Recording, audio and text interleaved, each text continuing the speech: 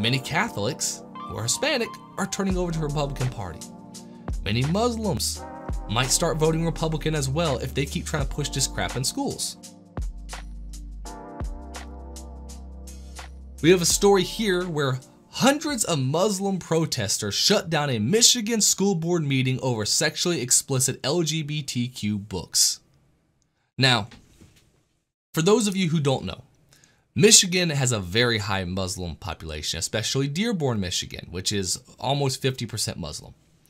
Now we can sit there and say, you know, uh, that might make us uncomfortable. Maybe we don't really like some of the cultural issues that are tied to the Islamic faith as a whole.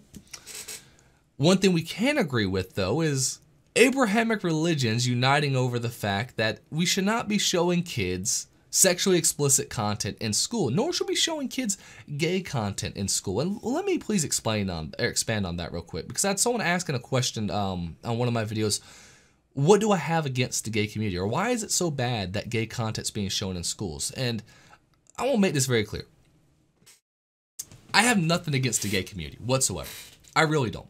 I, I think everyone has a right to be with whoever they want to be with. And in fact, I would even say that I would rather see two gay men married than I would like to see, you know, straight people just hooking up left and right.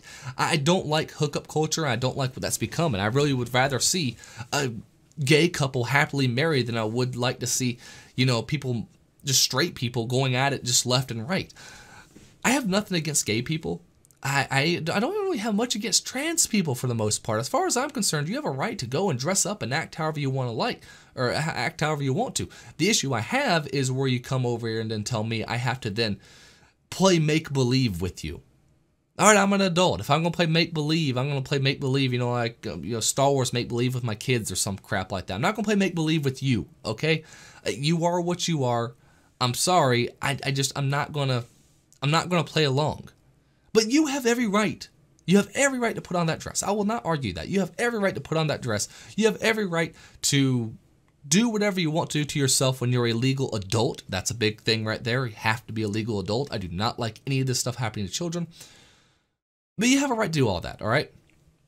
Just same as you have the right to, of course, um, you know, make yourself throw up after you eat because you're anorexic, right? It, it's a mental condition, is what it is.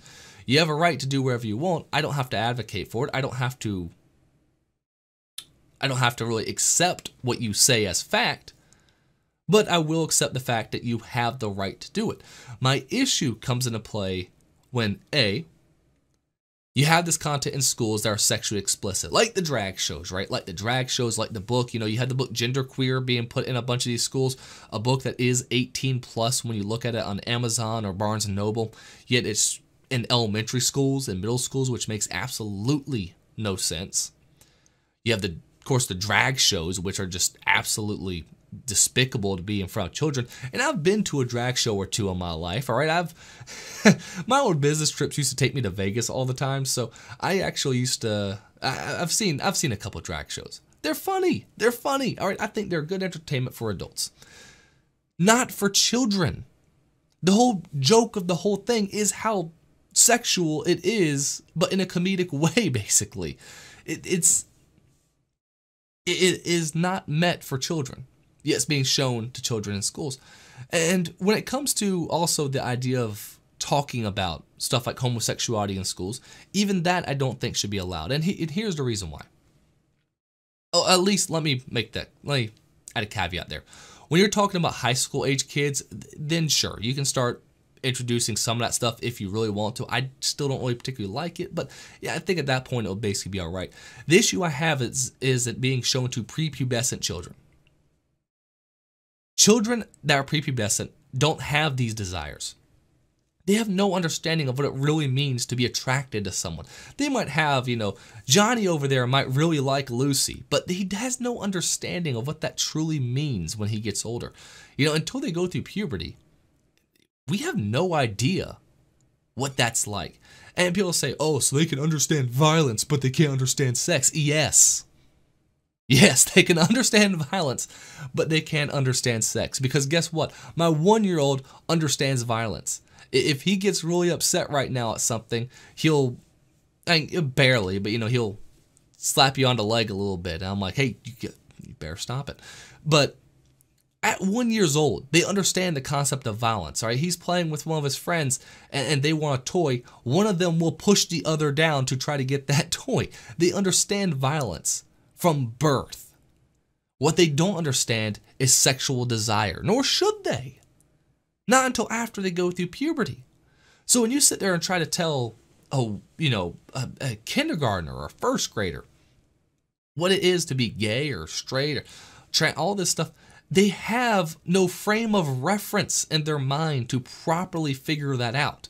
They might be able to say, okay, so two guys who really like each other are gay, and two girls who really like each other are gay, and then, you know, guy and a girl is what I have. They might be able to know the words and how to put them together and how they might know the overall idea, but they don't understand it. They have no understanding of what it actually means. It's like it's like me saying, oh, well, I know the Bible. And then I pull out the Bible and go, yes, I know. It's this book right here. I know the Bible. And then if you start asking me questions on it, I go, oh, I've actually never read it. Right? You can know what the Bible is. You can know that the Bible, of course, is by Christian accounts, of course, the Word of God and all that nonsense, right? Well, not nonsense. I mean, I'm a Christian, so I believe it. But you know what I mean, right? You you know what a Bible is. But if you haven't read it, you don't understand it. Children might understand what homosexuality is. They might understand what transgenderism is, but they don't understand it because they have yet to have any frame of reference to work with. So that stuff should definitely be kept out of elementary and middle school schools. Again, we can make the argument for high school. We can make the argument for high school. I don't like it, but we can make the argument. When it comes to elementary and middle school, though, no argument there. It should be not allowed one day. And it's also why, of course, Disney should not be showing it at all in um, in their content either. But here, again, we have something interesting because obviously the left will gladly attack a Christian group of people who are standing up to stop this stuff being shown in schools. They'll gladly attack Christians for doing this exact thing. But when it's Muslims, well, now we got ourselves a little bit of a oppression Olympics going on, right? Who's the more victimized, the Muslims or the LGBT? You know, I would actually say eh, that's hard to say actually. In America, I would probably actually say the Muslims are are lower lower on the totem pole than the LGBT are actually, because I it's not like we have uh, Walmart having Muslim month now, do we? Now worldwide, uh, we know who's lower on the totem pole, but in America, it probably should be the Muslims. But here's the thing: they, I, I, I don't think the left are even going to even bring up. They'll never bring up the fact that there is this um, problem when it comes to who accepts who. They, they built this coalition of people who really don't like each other. They mostly just have a mutual hatred of America for the most part. Which, let's face it, many people who are part of that LGBTQ, LGBTQ whatever community do have a slight hatred for America. Not all. I have friends who are gay, friends who are gay and married. They love America and they hate crap like this. They hate crap like they hate the fact that people in their community are pushing this stuff in schools. All right, the people I know who are gay cannot stand them pushing this stuff in schools because, well, for them they keep saying the fact of they worked hard to shake that um uh, that uh, stereotype that, of course, gays are groomers and all that nonsense, right? They worked hard to shake that stereotype. And now, because actual groomers are going into schools, that stereotype is building back up again. And of course, they're just a normal married couple, same as most of us, and, go about their day. They don't, they don't want this stuff in their schools. They don't want this stuff in their schools. So I don't mean to say everyone who's part of the LGBT, LGBT, what everyone's part of the politically gay community. All right, everyone who's part of the politically gay community is it. There's a difference between being politically gay, I guess, at this point, and being just gay. Unfortunately, that there does seem to be a whole block of people who ha have um, used their sexuality as a way to get political influence rather than, well, than just being their sexuality. At the end of the day, I really don't care what you are and what you do in your own private life, yet these people are constantly trying to push it wherever they can. And what do you know? Some Muslims are actually starting to shout back. Um, right here we got, you know, the majority of those who attended Mus- or Monday's Dearborn Public, of course, Dearborn, Michigan. Like I said before, Dearborn, Michigan, huge Muslim population. Dearborn's public school board meeting took a stand against books um, were Muslim. There were a handful of counter protesters present to defend the books, including members of the American or er, Federation of Teachers Union. Oh, the teachers union. Teachers union a bunch of bastards. I'll tell you one thing. I have so many stories about the damn teachers union. You can look at look at their past and how many times they have defended pedophile after pedophile. The teachers union is one of the biggest insults to American just to the American school system in general. I mean, obviously public schools are a disaster regardless no matter how you split it. They're indoctrination camps for the federal government, but the teachers union, my god, they are some of the worst of the worst. So you got this right here, them uh, shouting, which I'll play here first.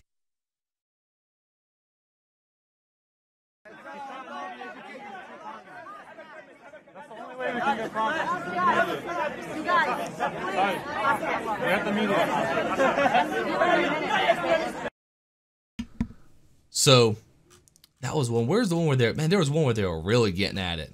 Yeah, there we go.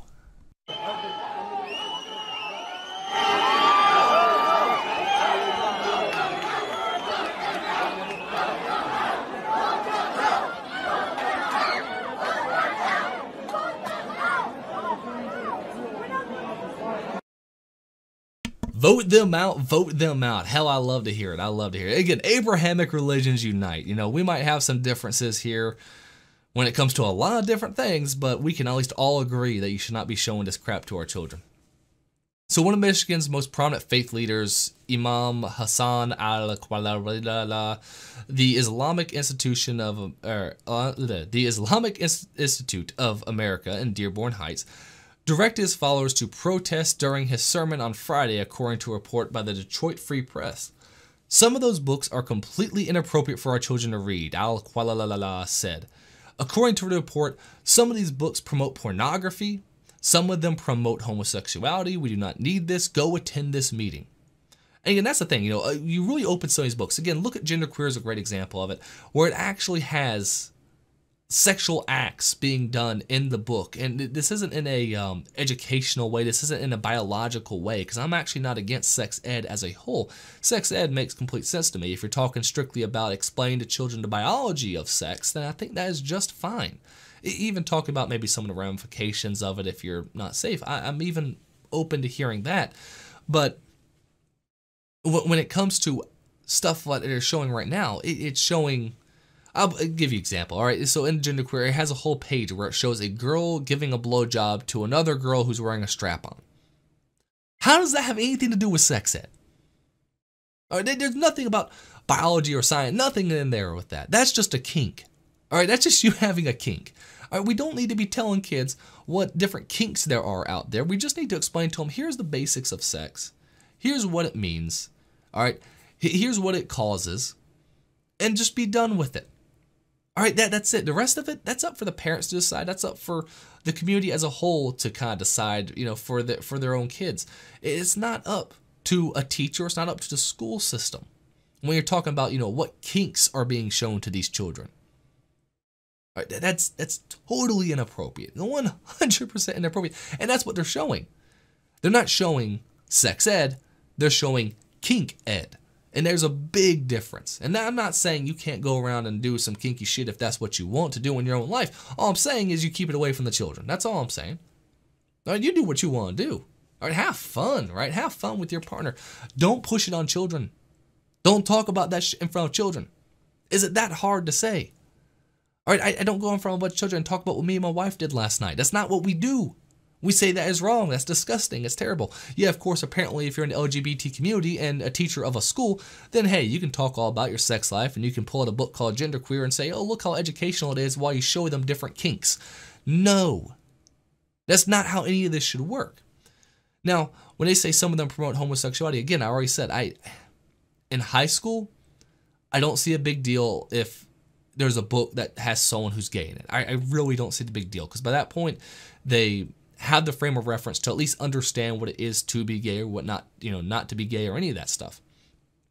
But this is a middle school that they're at, or where this was shown, a middle school where people are, you know, maybe just reaching that age where they're starting to, you know, figure that stuff out. It, I, I still think it should be kept out of middle schools. I think it should be kept out of middle schools, definitely kept out of elementary schools. And that's what they're protesting here. Plus, to be honest, these people probably would not like it in high schools either, knowing um, knowing the Muslim faith. and the people who I know, people who I, I don't really know know but the people who I've met who are Muslim are they're very strict about that stuff. I'll tell you what.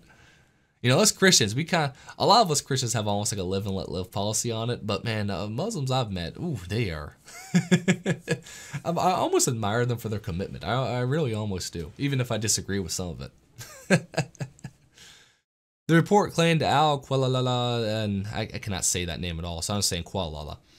And others said that they have a, a democratic right to decide what is appropriate in their school since the faith is now the majority. Dearborn is 47% Arab American, most of them Muslim. Dearborn Heights is about one third Arab uh, American, according to census data. Recent protests involved all demonstrators who are uh, who appeared to be mostly Muslim, but one of the key organizers, Stephanie Butler, is a Christian and appeared at both events. Again, Abrahamic religions unite. All we need is a couple Jews to show up there, and then we'll be set. Here's the funny thing here. Uh, they have a democratic right to decide. Okay, left, you love democracy so much. I'm a complete opponent to democracy in almost all of its forms. I hate democracy. All right, I will actively say I despise democracy. Democracy is one of the bloodiest and terrible forms of governance ever devised by man. If you do not believe me, you have not read your history if you really think democracy is a good form of government. And maybe the left will start to realize that when guess what? The majority says they don't want gays in their school. Okay, well guess what? You who cares about a republic form of government if the majority says so? Well, that's democracy, which must be good. Democracy is always good, isn't it? Do you hate democ and do you hate democracy? See, I have no problem saying I hate democracy. Democracy is ridiculous. So guess what? I don't care if 90% of people all agree that abortion is right. I'm still going to say you're a bunch of lunatics and it should be banned. I do not care about democracy. I do not care what the mass opinion was. There was a time when the masses believed slavery was okay. It did not make it okay. Luckily, in a republic form of government, we can see this and make changes appropriately because instead of going by what the people want en masse, we instead go by the rule of law. That's the big difference between a republic democracy right there. We have a rule of law. It does not matter if 80% of the people believe that the right to bear arms does not give you the right to own an AR 15. The law, according to as it should be, says we are. And until the Constitution is changed, guess what? I'm going to own my guns the way I see fit. It does not matter what the public thinks. And guess what? Here, democracy is basically saying they don't want this stuff in their schools. So, left, balls in your court. Do you or do you not like democracy? Just saying. We don't need those books in Dearborn and Dearborn Heights, Al Kuala said. Take them somewhere else. The majority rules. if you are the majority people in Dearborn, you decide for your children. We live in a democratic society, and there are certain tools and techniques which, or with which we you can change the law of this country. I mean, I, did, I can't disagree more. I, I do not think we're a democratic society. I hate democracy, as I said, but I do love the fact that what the left has been pushing with the idea of democracy is now being used against them. I absolutely love it. And again, I've been saying this for a long time. I said this in the short I posted on this too, that as the Muslim population has increased and as illegal immigrant uh, illegal immigration has increased, guess what? Those illegal immigrants are predominantly Catholic. Listen, if you believe in a lot of traditional values and a lot of different things, uh, we might be making some real headway here soon. When it comes to, of course, abortion's a big one. Do you think a bunch of Hispanic Catholics are okay with abortion? Do you think a bunch of Muslims are okay with the homosexuality in the schools? They aren't. Yet, because the left has constantly allowed, they think they're going to be the greatest voting bloc. I tell you one thing, we can see this in the stats. Hispanics are starting to turn over to the Republican Party, left and right. Why? Because the Republican Party at least has some traditional values left. They still suck, don't get me wrong, but they at least have some traditional values still there. And they don't sit there and ridicule you for being religious. They don't sit there and ridicule you for your faith. So, many Catholics who are Hispanic are turning over to the Republican Party. Many Muslims might start voting Republican as well if they keep trying to push this crap in schools. The Imam added, they are proponents of democracy, but only if it supports liberal values. Yep, the moment it goes against liberal values, they are authoritarian who want to oppose their own values on people. They are very much authoritarians. That's 100% true. During the meet, however, democracy can still be authoritarian. Let's not forget that. Anytime you're forcing your views on others, you're kind of an authoritarian. This is why I lean typically more libertarian. But yeah, they're not wrong on it, right? They claim to be for democracy, but the moment they lose, they go, ah, no, screw democracy. We're, we're in power. We're going to rule. During the meeting, several protesters spoke out and led chants, including vote them out. We're going to send a message to the Board of Education. Uh, protester Hassan Anan, Hassan Alan, I don't know, said, according to the report, we the people put you in this position. We put you on that chair. We elected you. A gay man who attended the meeting to counter or, or, to counter protest had to be escorted to his vehicle by police as protesters shouted at him to leave our children alone. I kind of feel bad for that guy. I have no idea if that guy was actually advocating for what um for you know what was being shown in schools or not. Because listen, a lot of times people are misled. I, I have I have met people who are gay who thought the Florida Don't Say Gay bill actually meant you couldn't say gay in schools. And as we know, it wasn't even called Don't Say Gay Bill. It had nothing to do with Don't Say Gay. That is just a complete lie. Talk about, again, misinformation. Will CNN pay a massive fine? I don't know. Um, but they, they actually thought that's what the bill was about. So they were saying how much they were against it. When they realized that all it was saying is you can't teach sex ed to kindergarteners and first graders, they, they kind of realized, oh, wait a second, I'm wrong, and they backed off of it. So I don't know if this guy actually knew what he was protesting for or counter protesting for, to be honest. So I, I, I feel kind of bad him them shouting "Leave our children alone," but I kind of get it. If you're trying to tell, if you're trying to show children, you know, pornographic images, then yes, yes, you know, leave our children alone. The protesters had the support of the Council on uh, American Islamic Relations a typical uh, leftist organization who is now helping Muslims protect their religious right to keep explicit material away from their children in public schools. The meeting has now been rescheduled for Thursday at Fordson High School, which can hold a large. Oh, it's this Thursday. Oh, it's today. Oh, that's going to be interesting. That's going to be interesting. I can't wait to see what happens then. I just burnt the hell out of my hand. I have a coffee heater here. I just put my hand right on. I don't know why the hell I did that. But yeah, I mean, what do you guys think? I, it's it's definitely interesting seeing uh seeing this now take place with uh Muslims actually going over and shutting down school board meetings like this. And it's interesting seeing that, of course, Christians and Muslims actually uniting on something for once. And it, who knew? The one thing that could get Christians, Muslims, and Jews to stop hating each other was the left. It was our unified hatred for what the left has become. All you need for peace in the Middle East is to drop a bunch of leftists over there, and you know Israel and Palestine will band together to fight off the uh, hordes of gender nonsense that they would try to introduce. hey guys, thanks for watching that video. If you enjoyed it, you'll probably enjoy some of the other videos we got here on the channel, and you can check some of them out right over here. Plus, if you want to watch the live show, it is Thursdays at 6 a.m. Eastern Standard Time. So wake up early, grab yourself a hot cup of coffee, and I will see you there.